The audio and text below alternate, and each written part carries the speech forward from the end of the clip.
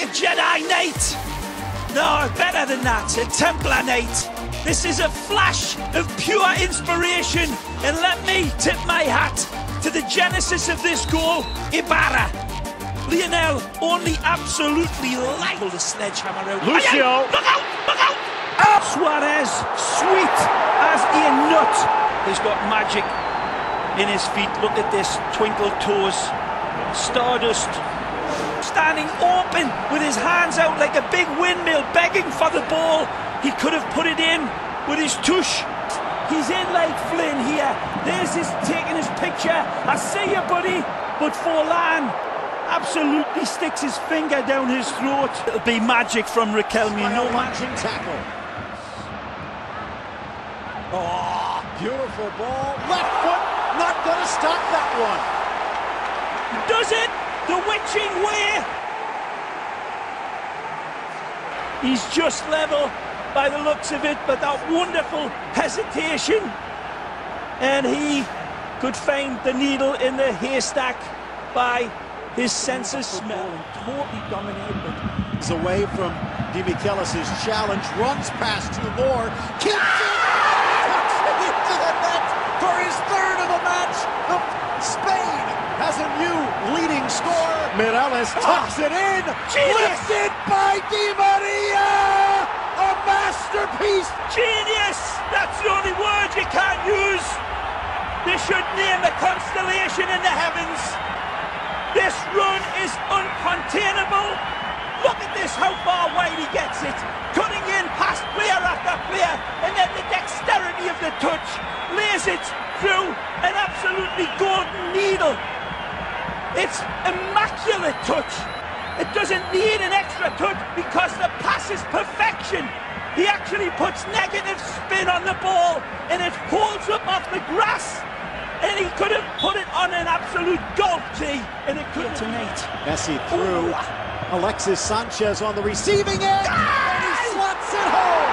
They tried to kick it away. Instead, he finds the equalizer on the boot of the young Chilean. It's a paradigm of everything that Barcelona is brilliant at. Fabulous on the run. He gets all of his angles down correctly and sets away the Chilean. Start your stopwatches. Okay, click stop. Ah, Slits it home. A gift from the gods. He always has been. I've said it for a long time. For me, I said it at the start of this game, the greatest footballer in the world. I'll go to my grave defending that man. Some people love him, some people hate him. Who couldn't love this? This is a Bernini sculpture of a goal, Pablo. It's perfection. If it had missed the target, you could have hardly blamed him, but he takes all of the responsibility on his own shoulders. He guides it heavenly. It's a magisterial hit by an artist, and he knows where his bread is buttered. This is a bravado goal. This is an absolute concerto goal. The first one was brilliant. We're like living deja vu all over again. Don't tell me this man did not deserve FIFA World Cup Player of the Year. He is heaven sent. To flex oh. back. Somehow it Messi, and somehow he finds the net. Excuse me for being excited, people, but we've just witnessed a goal that will wake up a catatonic. Astonishing skill that literally takes the breath away. Phenomenal footballer that he is. There's no answer to that. You can't coach against this. It's pure genius. It's what it is. and it couldn't have been any. Wonderful predator inside the box. What a ball! He did it again. like a Jedi Knight. No, better than that, a Templar Knight.